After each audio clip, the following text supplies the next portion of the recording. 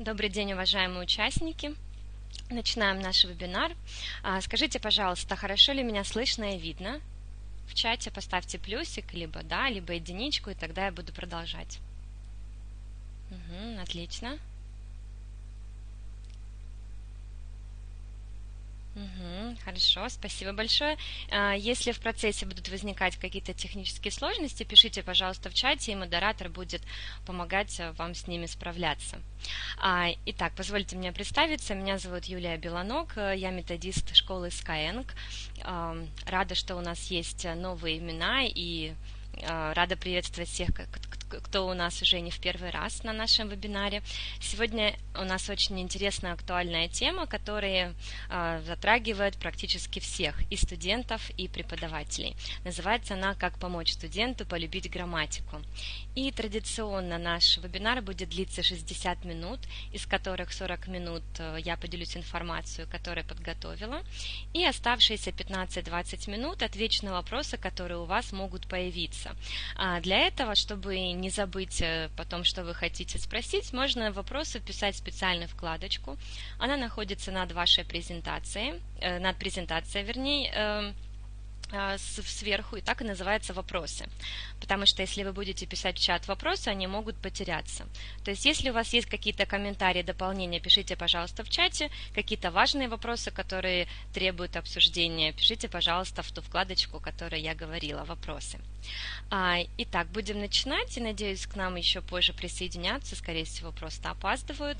И прежде чем а, мы начнем, хотелось бы знать ваше мнение, как ваши студенты относятся к грамматике, либо, когда вы были студентами, какое у вас отношение было к грамматике, что вы думали вообще о ней, как, как это было вам, либо вашим студентам. Можете, пожалуйста, поделиться?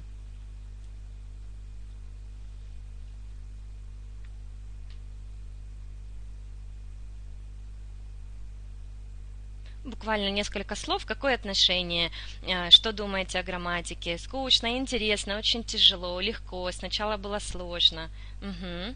Буквально одно-два слова. Uh, school was really boring, да, согласна с вами, Анастасия, скучно, согласна с вами, Виктория. У меня было абсолютно такое же отношение, было отдельным предметом, да, поэтому заниматься только грамматикой было скучно, угу, совершенно верно, сложной. Угу. Да, да, спасибо всем огромное. А, вот и у меня, и у моих студентов, которые ко мне приходили, также было подобное отношение, да, из-за чего оно а, а, случается. Да. Татьяна, по поводу, очень часто слышу, мне не нужна грамматика, а, тоже спасибо за а, то, что вы написали, это мы можем объяснить немножечко тогда, обговорить немножечко позже, что нам делать с такими студентами. Да. А сейчас все-таки поговорим о тех студентах, которые считают, что грамматика это сложно, скучно, что-то непопулярное, у меня не получится, либо я вообще не хочу ее учить. И очень часто такое отношение у студентов именно потому, что преподаватели используют грамматика-переводной метод. Да, я думаю, а, по школе многим из них, э, из вас э, он известен. А если мы посмотрим на табличку с левой стороны, да, как это было ранее, а, грамматика была главной целью обучения – у преподавателя была доминирующая роль, он лидировал и жестко контролировал весь процесс абсолютно. А, правила э, сообщались в готовом виде, такой некоторый лекционный стиль. Может быть, вам знакомо, когда преподаватель на доске пишет много-много всего, нужно да, заучивать формулу, э, зазубривать это, да, потом на следующем уроке еще просят рассказать, пересказать все правила. А, после заучивания, после разбора подробного правил были механические дрилы, а, было очень много переводных упражнений, да, основная модель это все-таки объяснение и дриллинг. Дриллинг абсолютно разный, и самая большая большая проблема, что не было коммуникативной задачи. И именно из-за такого подхода у многих, ну, конечно, грамматика не, не такая простая, да, конечно же, но из-за такого подхода очень у многих сложилось такое мнение. А, что же изменилось э, в коммуникативном подходе? Так, как сейчас мы преподаем грамматику? Во-первых, сейчас грамматика для нас это инструмент – для развития рецептивных, это аудирование чтения, и продуктивных навыков. Продуктивных – это говорение и письмо. То есть грамматика – это не самая главная цель, и она, скажем так, обслуживает остальные виды речевой деятельности. Э, сейчас самое главное для нас – это автономность студента – То есть мы вся поощряем автономность, такой есть принцип guided discovery, мы немножко позже о нем поговорим. А, грамматика сейчас имеет практичную и коммуникативную направленность, и основная модель, которая сейчас используется, это э, PPP, Presentation, Practice, Production. А мы эту модель рассмотрим более подробно сейчас. Если вы посмотрите на следующий слайд – то типичный урок по грамматике обычно представляет собой три больших этапа. Первый этап – это презентация, он также разделяется на несколько этапов. Введение либо лидин, извлечение, на русском как-то не очень звучит, на английском лучше, elicitation, пояснение, clarification – Второй большой этап – это контролируемая практика, либо practice. И еще один этап – это продуктивная практика, э, продуктивная стадия, либо production. Вот мы об, каждой об этих стадиях поговорим. Я попробую вам показать, как можно креативно преподавать грамматику на каждой из этих стадий. Если у вас есть какие-то дополнения, либо, может быть, какие-то свои предложения, как вы, преподаете, э, буду рада прочитать э, также в чате ваши комментарии. Итак, начнем с самой первой важной стадии. Да, почему она важна? Потому что, как я уже говорила, в современной методике фокус перемещается от объяснения преподавателя к исследовательской деятельности самого студента. Поэтому мы вводим грамматическую структуру. Можно это сделать двумя способами. А, это ситуация или это текст. Два самых основные. Есть, конечно, другие, но это наиболее такие практичные. И теперь посмотрим на примере да, презентация на основе ситуации. А, допустим, представьте, что я преподаватель, и я принесла свою фотографию в детскую, вот вы видите ее на слайде, и э, я вам рассказываю. This is photo of me when I was 10. I used to go to school, I used to wear glasses, my hair used to be long и так далее. То есть моя задача а, какую-либо интересную ситуацию выбрать, ну, я думаю, что интересно а, вашим студентам будет увидеть фотографию преподавателя в детстве либо в юности. И здесь а, на этом этапе моя задача, чтобы студенты просто заметили, что в моей речи появилось что-то новое, новая грамматическая структура да, used to. А также можно, допустим, для той же э, ситуативной презентации использовать реалии, да, реально существующие объекты. Допустим, я прихожу на урок, а, хочу выучить тему going to и рассказываю студентам. I'm going at 6 o'clock uh, to, have lunch with my friend, at 5 o'clock to visit my granny и так далее. Либо можно, допустим, использовать карту, вот на мне за стеной, если я использую have been, например, I have been to Scotland, I have been to England и так далее далее. А также сейчас в чате я вам скину два примера, вы можете посмотреть их после того, как закончится наш вебинар. А, первый, э, одну минутку. Первая презентация а, преподавателя на фрагмент урока, в которой преподаватель объясняет разницу студентам, а, презентует э, Present Perfect и Past Simple. И вторая, в котором преподаватель э, использует, презентует present perfect. Во втором примере не очень удачно лексически, да, там преподаватель разбирает предложение she has cut her hair, что в принципе неправильно. Но зато у нее очень интересно представлен визуальный материал, и она использует график. То есть вы тоже можете с этим ознакомиться. А, итак, идем с вами дальше. По поводу ситуации более-менее ясно. То есть вы можете говорить о себе, вы можете говорить, что у вас есть друг, который, и о нем э, рассказать. Здесь важно следить за тем, чтобы речь преподавателя не была слишком долгой. Да, чтобы это не был такой длинный-длинный монолог, который забирает э, ценное время у студентов. Что-то довольно краткое, но при этом интересное. А, так, идем тогда дальше с вами следующий вид э, презентации – это презентация на основе текста. Я думаю, что э, всем вам знакома эта презентация, потому что это самая обычная презентация, которая используется в э, современных учебниках учебниках коммуникативной направленности. Этот текст взят из учебника New English File Intermediate, и здесь грамматическую структуру, на которую мы обращаем внимание, это past tenses. Да, если вы посмотрите в тексте, здесь есть примеры past continuous, примеры past simple, примеры past perfect. А в чем преимущество презентации на основе текста? Преимущество в том, что студенты видят структуру а, в связанном контексте, в целом предложении, и им легче догадаться о ее значении. да, исходя из этого.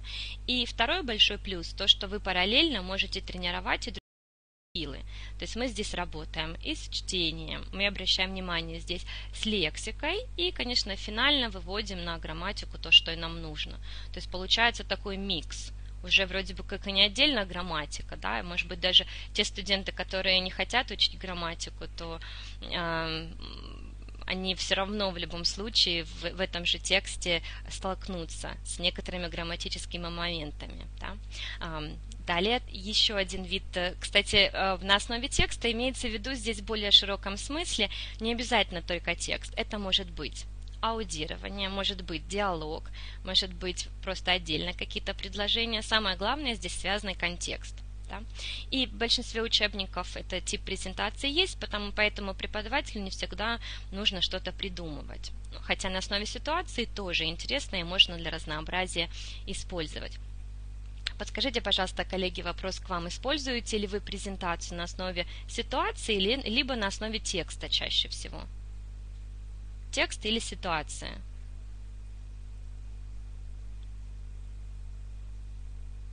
на основе ситуации. Угу, то есть вам, вам это знакомо, да. Угу.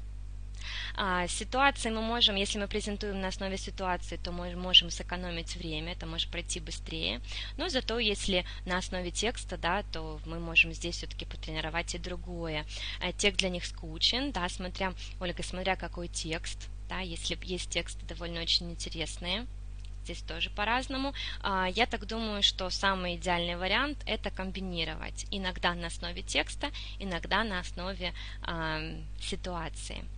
А, далее такой еще момент, как мы можем еще разнообразить. А, вот, допустим, можем использовать такие техники работы с текстом для презентации грамматики. Оно, это, эта техника подойдет для среднего уровня и выше. А, допустим, вы берете текст, в котором есть ключевая грамматическая структура. В данном случае это был пассивный залог. А, я удалила отсюда все случаи либо частично случаи пассивного залога, а, выдаю этот текст студентам и прошу их э, дополнить предложение так, как они считают нужным затем они сравнивают в парах, и э, после этого преподаватель выдает им оригинальный текст, как это было на самом деле.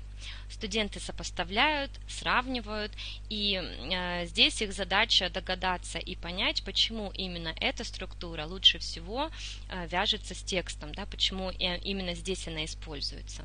Таких техник на самом деле очень много, и если ваши студенты не находят скучным работать с текстом, то есть отдельный учебник, э, в котором есть описаны эти техники. Если будет интересно, то в конце презентации я отдельно а, скину на него ссылочку.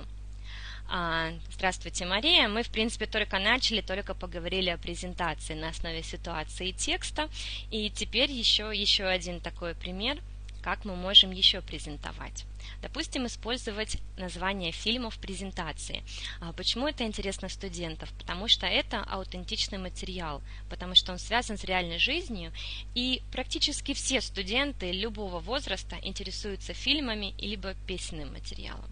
А здесь, конечно же, эта презентация не подойдет э, для совсем новичков, она подойдет для уверенного уровня elementary, либо даже для low pre-intermediate. А, мы берем здесь э, известные названия фильмов, например, The Rings Lord, The Lord of the Rings, да, и так далее. А, студенты вначале выбирают правильный вариант, потому что многие из них, даже если не знают каких-то слов, они часто в интернете находят названия фильмов, э, у них это на слуху, особенно самое интересное про Lord of the Rings либо Harry Potter. Э, наша задача здесь, во-первых, вызвать интерес – да, то есть э, мы здесь также можем спросить, знаете ли эти фильмы, смотрели ли эти фильмы. И вторая наша задача здесь, э, студенты должны заметить, э, как передается притяжательный падеж в английском языке. Когда мы используем of, когда мы используем апостроф, когда используем апостроф и s. То есть в дальнейшем мы будем, уже в следующем этапе, мы будем помогать им, э, наталкивать их на мысли с помощью наводящих вопросов и помогать им анализировать. А подобный вариант же только с использованием песен. Песни можно подобрать абсолютно разные, можно какие-то более популярные, которые знакомы э, вашим студентам, если это подростковая группа, это одно, если это взрослые, возможно, другие. И мы здесь э, выдаем какой-то, допустим, их список, либо пишем и просим, э, ну, грубо говоря, подчеркнуть э, глаголы, в которых есть окончание ing. Да? А затем с помощью наводящих вопросов уже э, студенты догадываются, зачем нам вообще нужно окончание ing здесь. То есть песни и фильмы названия это всего лишь способ вызвать интерес у них да, и показать, что в реальной жизни грамматика тоже очень часто используется и в фильмах, и в песнях. Да? А, Ольга пишет, хорошо на песнях Боба Дилана прошедшее время объяснять. Да, э, кстати, есть отдельные даже очень много учебников, э, которые используют песенный материал для изучения грамматики. Да, это я думаю, что очень популярно, когда студенты слушают, заполняют пропуски, да, и либо потом мы выдаем пример. Это очень хороший способ и отлично отлично работает при группе, если особенно у вас подростки. Для подростков это вообще песни, для изучения грамматики это идет просто на ура. А, идем с вами дальше. Э, после того, как вы презентовали грамматику, э, я думаю, что это можно сделать разными способами и проявить находчивость и сообразительность. А после этого мы переходим к следующей подстадии презентации, которая называется elicitation, либо стадия извлечения. Она собой представляет преподаватель задает вопросы, которые помогают сфокусироваться на значении. Это concept questions, вопросы, которые помогают сфокусироваться на форме и анализ предложений из текста. После стадии elicitation может следовать, а может и не следовать, она бывает не нужна, стадия explanation либо clarification – но что здесь нужно помнить? В любом случае мы избегаем долгих запутанных объяснений. Помним, что наши студенты это не они не профессора лингвистики, им не нужны никакие термины такие какие-то сложные. И наша задача здесь максимально просто и кратко объяснить им, а, Например, используя графики, картинки, таймлайнс, немножко позже я приведу пример. А, то есть, если мы представим урок грамматики на 100%, то объяснения преподавателя будут занимать всего лишь процентов 10, не больше. Да? И задача преподавателя максимально сократить объяснение, задать как можно больше вопросов, чтобы студенты сами догадались о значении и о форме этой структуры. Да?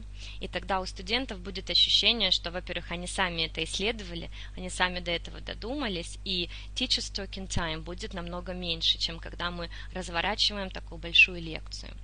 А, по поводу э, elicitation, здесь пример. Давайте представим, что мы с вами уже разобрали какой-то текст, либо какую-то ситуацию. И сейчас я на доске выписала это предложение, либо если вы работаете в онлайне, это предложение я написала в чате. He had hidden the money before she came in. Да?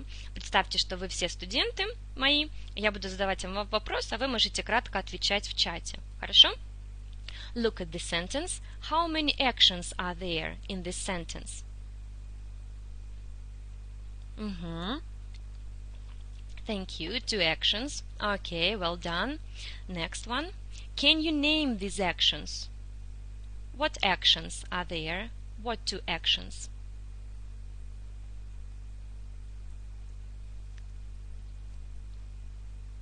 Uh, я дожидаюсь ответа первого, хорошо? Uh-huh, hide the money and came in. Mm-hmm, well done. So he had hidden the money mm-hmm, and came in. Okay, next question. Which action happened before another one? Which action happened earlier? Had hidden. Mm-hmm, well done, thank you. So had hidden is a past perfect. How do we form past perfect? Mm-hmm, hidden. How do we form had plus, mm-hmm, thank you, had plus third form of the verb. То есть подобные вопросы вы можете э, задавать студентам уже начиная с уровня уверенного elementary. Да? И здесь э, с помощью этих вопросов, э, э, то есть студент сам ответил на них, и у него у самого уже сложилось впечатление, зачем мы используем past perfect, да, для чего нам э, это время. При этом я не начинала с долгих объяснений, я просто задала, задала вопросы, и студент мне дал ответы. Если все, все-таки, да, потому что грамматика бывает сложная, и не всегда обойдешься только этапом elicitation, если возникает необходимость, и мы хотим объяснить, э, объяснить дополнительно, то очень хорошо использовать наглядно timelines, так называемые. Вот, допустим, я хочу еще раз это прояснить, то, что студенты мне сказали. И, допустим, предложение I had, I had hidden the money before she came in, э, я рисую, допустим, если у меня, если я работаю в офлайне, да, то обычно на доске рисую таймлайн, да, и рисую два действия. А если я работаю в онлайне, то э, я ищу либо картинку готовую в интернете, на гугле, да, либо я а, сама делаю презентацию и вот составляю, рисую такой timelines. То есть я им показываю, что had hidden, да, э, случилось раньше, чем came in на временной вот такой линии. Либо второй пример. He was cycling to work when the accident happened. Да, я рисую такой вначале а, длинную полосочку, а, действие идет, и затем я прерывается оно. He was cycling, прерывается чем accident happened. И либо третье, while they were sleeping, Bob was cooking. Я рисую так, что два действия у меня э, одновременно происходят на временной линии. Э, вы можете абсолютно использовать э, свои обозначения, э, то есть рисовать как угодно, но наглядно это всегда намного интересней. Я думаю, что вы тоже можете в интернете по этому поводу найти э, много чего дополнительного. Ну, допустим, лучше нарисовать таймлайнс и сэкономить при этом много времени, чем я буду рассказывать в пяти или в шести предложениях, да, а, рассказывать студентам. А, я думаю, что вы тоже пользуетесь таймлайнами. И мы идем с вами дальше. По поводу концептуальных вопросов. Что это такое? Иногда нет смысла у студента спрашивать «Do you understand?». Особенно если вы работаете в группе, то студенты ответят чаще всего, что они понимают. Потому что, во-первых, им неудобно перед другой группой, что все поняли, а они нет. Либо они думают, что они понимают, но на самом деле они не понимают. Поэтому э, этот вопрос не всегда имеет смысл, и э, современные методисты вместо этого вопроса предлагают использовать concept questions, либо концептуальные вопросы. Это такие вопросы, которые помогают студенту понять значение данной грамматической структуры. Вопросы формулируются таким образом, что студент обычно отвечает «да» или «нет», ну, как-то довольно кратко. И у нас здесь есть предложение на слайде. He lived in Rome when he was a child. He lives in Barcelona now. Допустим, мне интересно, понял ли студент past simple. Ну, это довольно простой пример, да, но есть некоторые грамматические структуры, которые студенты не понимают сразу. Я задаю такие вопросы. Does he live in Rome now? Да, студенты отвечают no. Did he live in Rome in the past? Yes. When? Да, when he was a child. И таким образом студенту становится понятней, и, и мне становится понятно, что студент э, усвоил, что это прошедшее время, и что у нас э, дан какое-то конкретное время, более-менее конкретное when he was a child. А, конечно же, использовать концептуальные вопросы непросто, это обязательно они требуют подготовки, пока вы не приобретете подобный навык. Кстати, концептуальные вопросы используются не только а, в грамматике, но также в лексике. Чтобы прояснить, знают ли они значение лексики, их тоже можно использовать. Итак, идем с вами дальше. И после большого такого этапа презентации мы переходим ко второму этапу контролируемой практики, либо practice. А контролируемая практика представляет собой такую более сначала упрощенную модель, простую практику, когда мы отрабатываем структуру без наслоения других видов речевой деятельности. И обычно это, скажем так, э, безопасное окружение, где студенту требуется открыть скобки, поставить в правильной форме, выбрать правильный вариант. То, то есть то, что несложно, пока он не, э, ничего не производит, никаких э, предложений, заданий и так далее своих собственных. Пока мы только отрабатываем форму, отрабатываем значение. Но иногда тоже не очень интересно просто кликать, заполнять э, пропуски, что-то щелкать. И, в принципе, мы из э, обычного вот такого репродуктивного упражнения можем сделать коммуникативное задание. Э, допустим, я предложение, которое вы видите на слайде, я их слегка видоизменила, добавила в большинстве случаев I, либо my и так далее, my diet, my family. Для чего я это сделала? Для того, чтобы, когда мы проработали со студентом форму, он выбрал правильный вариант keeps, либо is keeping, да, gets, либо is getting, а, я задаю ему вопрос, what sentences are true for you? И он здесь начинает объяснять, что правда то-то и то, объясняет почему. Либо наоборот, спрашиваю, почему эти предложения неправда о нем, почему они не подходят. То есть таким образом а, мы э, сменяем активность, потому что когда вы даете, допустим, э, три подряд упражнения по грамматике, то можем действительно уснуть после этого. Здесь мы разбавили, мы дали упражнение грамматическое, разбавили спикингом немножко, плюс спикинг будет скорее всего, без использования новой грамматической структуры студент просто выразит свое мнение. И затем мы можем обратно вернуться еще к какому-то упражнению и продолжить закреплять. А, далее, что мы еще можем сделать? Всем знакомы дрилы, да, что такое э, дрилы. Например, преподаватель говорит swim, студент говорит swim, преподаватель говорит write, студент говорит wrote и так далее. То есть очень часто использовали в советской школе при грамматико-переводном методе. Дрилы, в принципе, у них все равно есть свое преимущество, до сих пор их используют, но мы можем немножечко их видоизменить. Каким образом? Допустим, вписать в какую-то интересную э, юмористическую ситуацию. Вот, допустим, у нас диалог такой. Waiter, there's a fly in my soup. Yes, sir, it's a fly soup. Нам нужно отработать структуру there is. Студенты обычно, либо there's.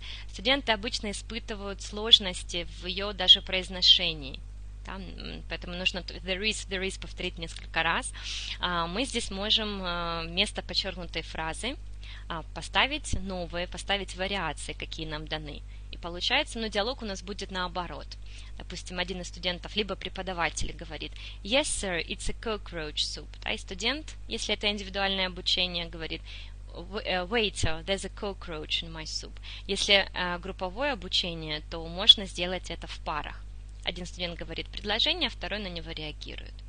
А, далее тоже такой, как э, не совсем вариант дрилов, но, допустим, мы изучаем тему степени сравнения. А, я даю готовую форму здесь. The most exciting film, book, story, либо the smallest thing.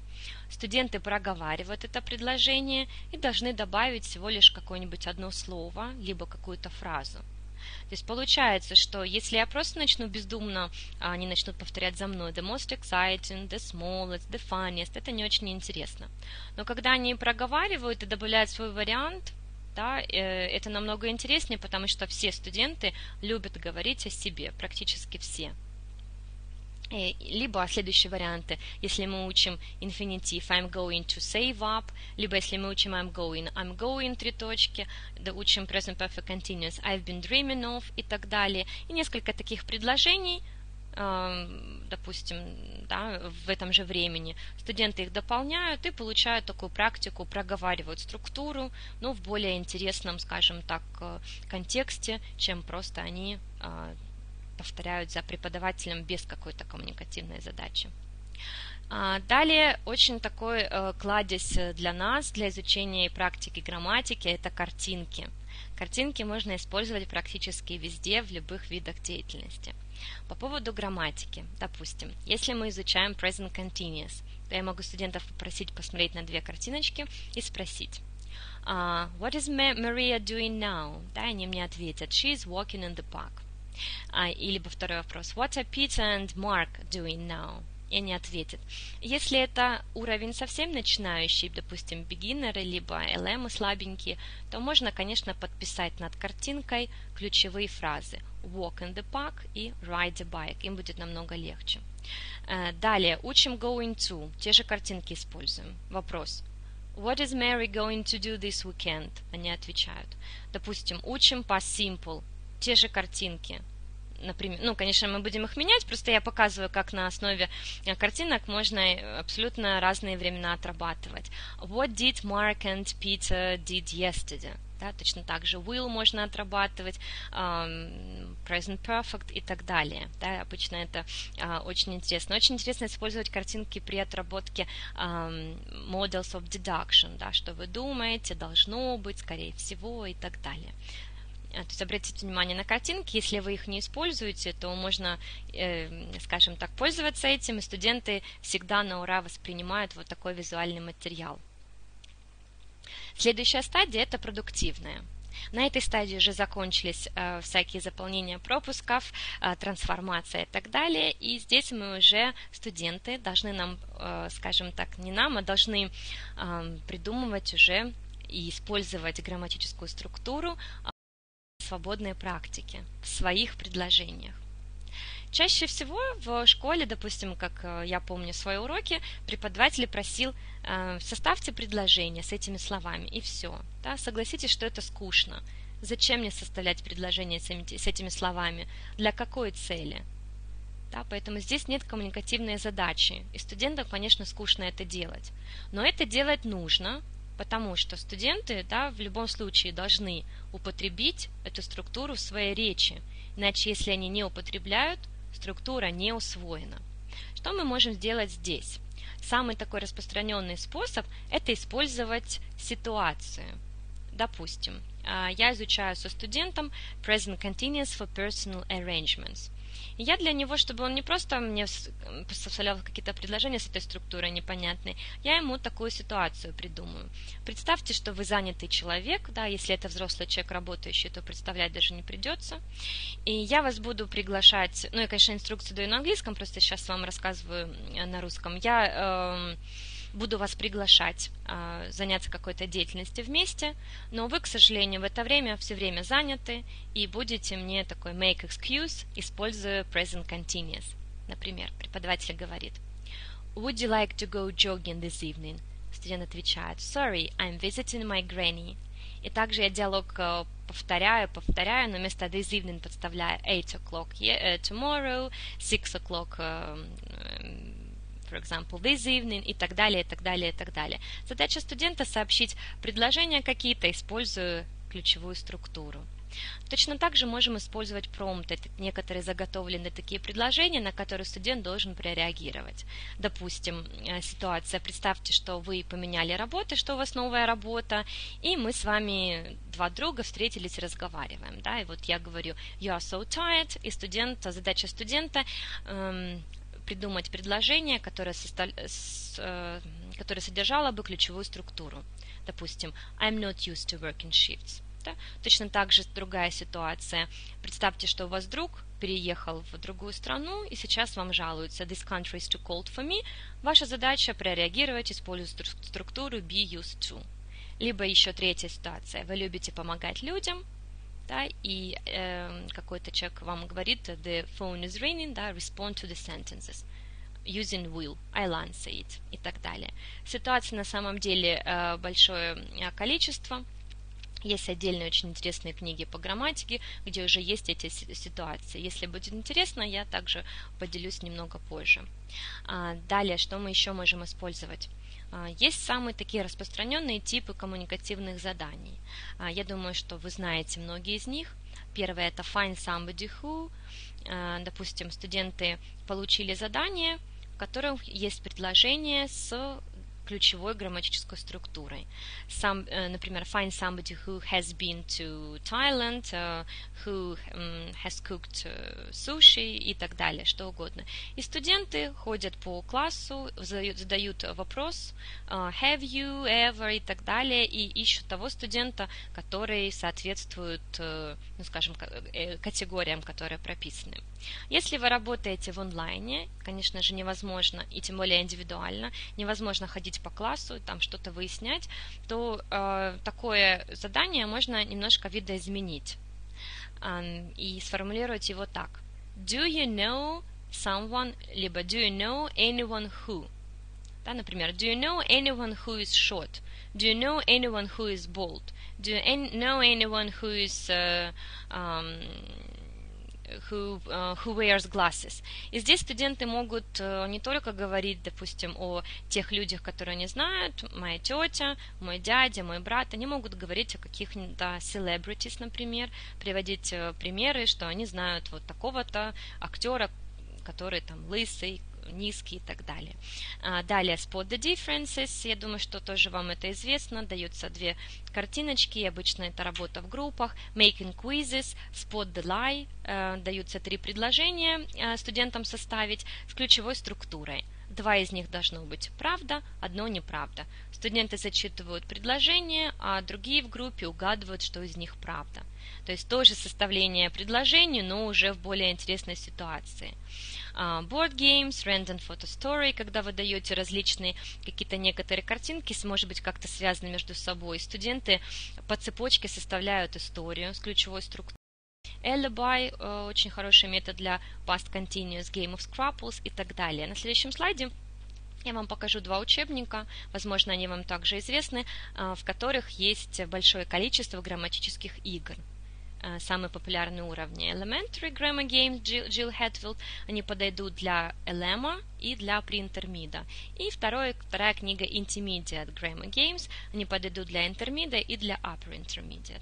На самом деле э, идей большое множество и ресурсов большое множество. А самое главное проявить здесь вашу находчивость и креативность. Это все, о чем я хотела с вами сегодня поговорить. Если у вас будут вопросы, предложения, дополнения, я буду рада обсудить и на них ответить.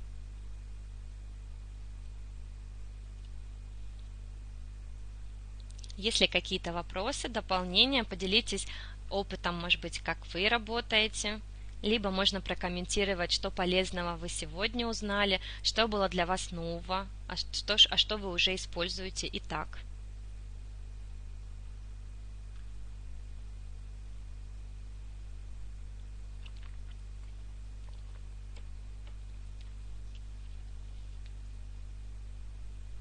Жду ваши вопросы во вкладочке «Вопросы», если они у вас возникли.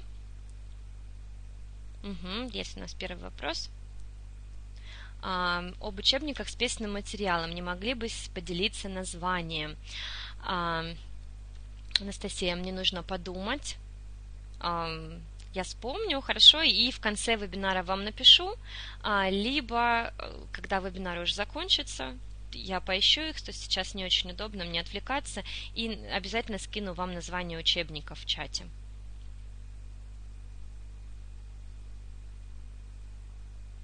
Есть ли какие-то еще у нас вопросы? Угу. Хорошо, Анастасия, я напишу вам.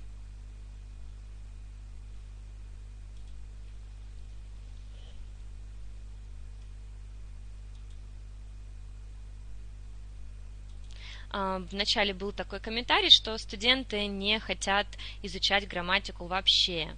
Да, а, то, в принципе, в этом случае мы можем, конечно же, не делать акцент на грамматике, мы можем им не объяснять правила совершенно, да, это даже и не нужно.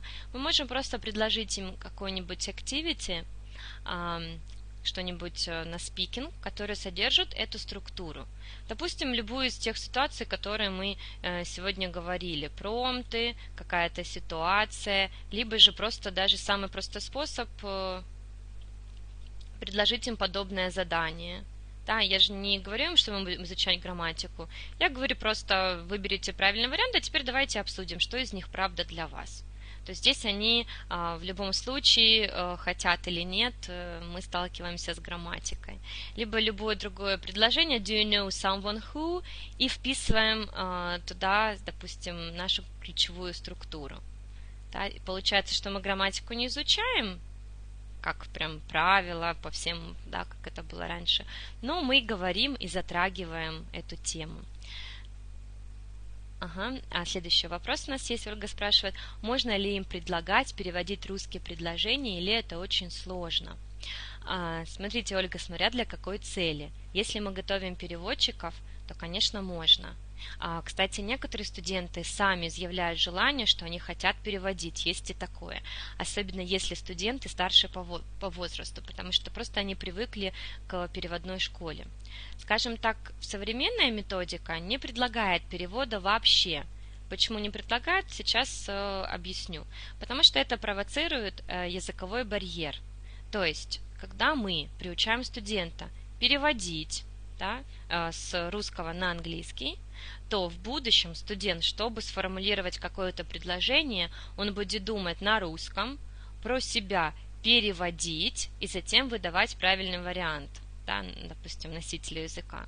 То есть в этом и есть суть барьера, что, э, во-первых, он будет тратить намного больше времени, и наша задача научить его думать э, по-английски, да, дать ему готовые структуры без перевода. Но если у вас студент, конечно же, просит перевод, да, то, ну, конечно же, мы должны учитывать, э, учитывать пожелания. Мы можем давать на перевод. Я так считаю, что лучше всего на дом, домой, пусть дома переводят сколько хотят, если им интересно. Э, либо, если это перевод, то в любом случае в самом начале. В самом начале все равно нужна более легкая практика, то есть просто подчеркните правильный вариант, дополните предложение, а затем уже потом что-то переводить. Либо же э, перевод, может быть, тоже вписать его в какую-то ситуацию, можно подумать.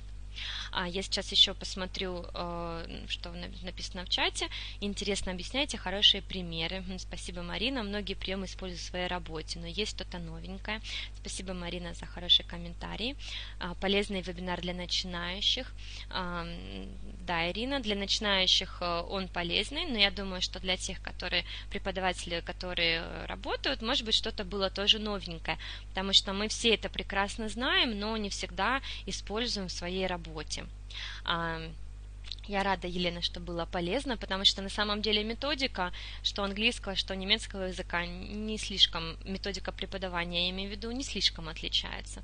Поэтому все то же самое вы можете использовать для немецкого языка, единственное, что вместо английского, да, все те же задания на немецком, и все. А, спасибо, Анастасия, я рада, что было интересно, я еще раз посмотрю на вопросы. А, как же еще давать новичкам грамматику, если они не хотят давать шаблон, по которому они будут правильно составлять предложение или, или что-то. А вот с новичками это, э, скажем так, наиболее сложный вопрос, потому что как раз им и нужна база. Допустим, если студент уровня интермит говорит, что мне не нужна грамматика, э, я говорю, да, окей, хорошо, мы просто идем скажем так, углубляемся в говорение. Но у студенту, скажем так, начинающего уровня, он без грамматики просто не сможет абсолютно. А, просто единственное, что а, может быть в каком-то более интересных ситуациях, во-первых, им объяснить, э, что вы не будете тратить много времени на грамматику, вы не будете весь урок там что-то им объяснять, но грамматика нам нужна, чтобы правильно строить предложение. То есть они, конечно, могут говорить неправильно, их поймут, но, конечно, об их уровне а, сразу носитель языка, либо с кем они будут общаться, составит уже соответствующее мнение. Да? То есть э, здесь э, самый такой верный вариант просто выбрать какую-то ситуацию, э, что им интересней, и уже на основе этого изучать грамматику. И, конечно же, с начинающими, а, да, по поводу шаблона вы правы, для начинающих без коммуникативных дрилов или вообще без дрилов не обойдешься. Но здесь можно использовать just chance, да, в которых я говорила в прошлый раз, они также содержат грамматическую структуру, да, либо давать какой-то скелетик, да, который не может использовать. Тоже хороший, хороший вариант. Угу. А, спасибо огромное за внимание. Елена, спасибо, Юлия. Есть ли какие-то у нас еще вопросы?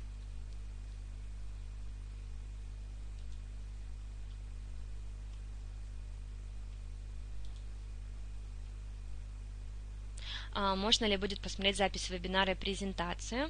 А, я думаю, что запись вебинара можно посмотреть. По поводу презентации, это вопрос к модератору. Анна, можете ли вы ответить, будет ли доступна презентация? И как именно будет?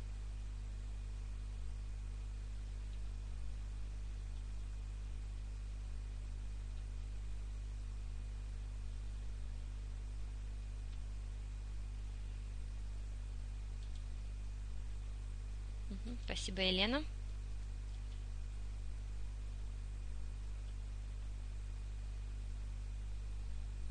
Если какие-то вопросы еще, хочу также напомнить э, э, преподавателям, которые у нас уже не первый раз, и также а, новичкам, что у нас есть э, рассылка.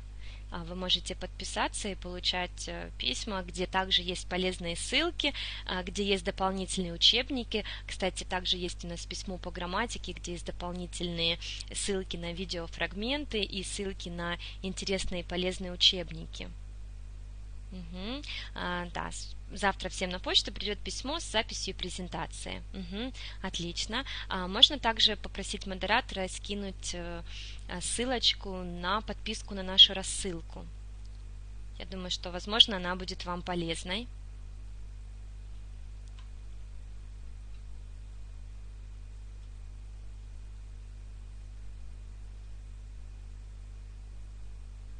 Спасибо, Анна. Я рада, что вам нравится. Еще один вопрос. А как можно, вопрос от Ольги, а как можно объяснить грамматики английского языка в двух словах? Можно ли использовать как пример программную логику? А, Ольга, не до конца понимаю по поводу программной логики, не совсем понимаю вопрос. А, вы имеете в виду рассказать, э, как у нас построена изучения грамматики, да, программы, что сначала идет у нас present, simple, например, потом еще что-то. Уточните, пожалуйста, свой вопрос, я не до конца его понимаю.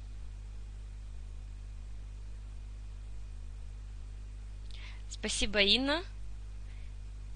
Огромное. Я рада, что вам интересно. В любом случае, я каждый раз очень волнуюсь. Я надеюсь, что вам волнение моего незаметно. Я рада, что вам нравится, и буду рада вас увидеть в следующий раз. Спасибо, Татьяна. Ольга, пожалуйста, проясните, что вы имеете в виду, чтобы я смогла ответить. А, хочу еще раз э, сказать, что, допустим, лично я как преподаватель, я не вдаюсь в какие-то большие подробные объяснения, я просто в самом начале объясняю, что язык изучается в а, комплексе всех э, видов деятельности. Например, Э, даже когда студент приходит ко мне и говорит, я хочу только говорить, я говорю, хорошо, чтобы вам говорить, да, вам нужно понимать речь на слух, для этого мы будем с вами время от времени заниматься аудированием. Чтобы вам говорить, вам нужен определенный лексический запас. Для этого мы с вами будем читать тексты, изучать э, лексику. А, вам необходимо, чтобы правильно говорить, некоторые базовые элементы грамматики. Но в любом случае, если он говорит, э, мой студент, что ему интересно спикинг, то я, конечно же, спикингу уделяю самое большое внимание. Незаметно волнение. Спасибо огромное. Большие годы практики, потому что преподаватели вынуждены, да, иногда это. Угу. Спасибо, Ирина.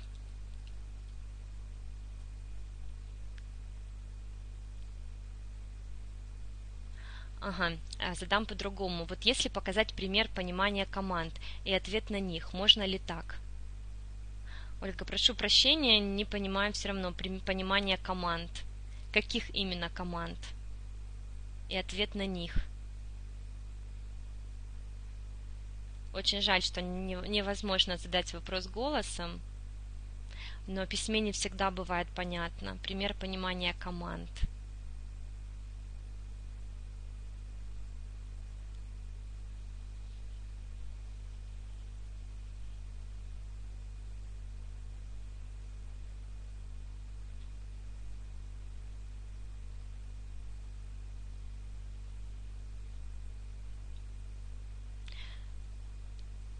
Ага, ну вот пример. Тут ты есть голодный, да, как так, так. Угу. А, то есть ты есть голодный, получается, мы должны переводить здесь. Пример, вопрос, ответ.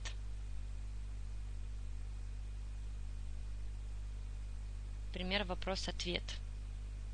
А, вы знаете, я думаю, что многие техники имеют право на существование. Я прошу прощения, но не до конца понимаю именно эм, именно ваш вопрос, да, а, возможно, можно пробовать по-разному. Задавать вопросы с той же грамматической структурой и ответ с этой же грамматической структуры. Возможно, так, да, нужно смотреть на а, студента. Честно говоря, затрудняюсь что-то сказать по этому поводу.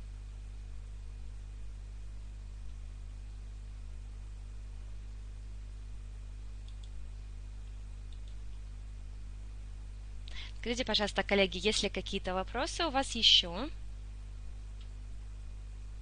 Обратите внимание, пожалуйста, в, в чате есть э, ссылка на подписку.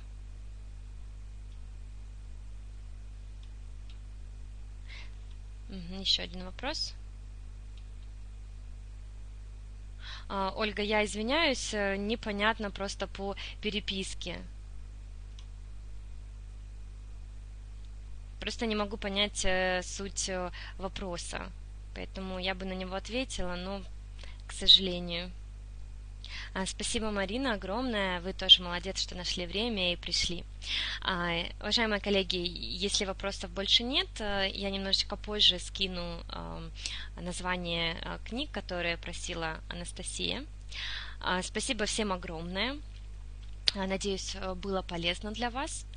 Жду вас на следующих Желаю вам успехов и развивать ваши профессиональные навыки. А, хорошего дня и до следующих встреч. Все, до свидания.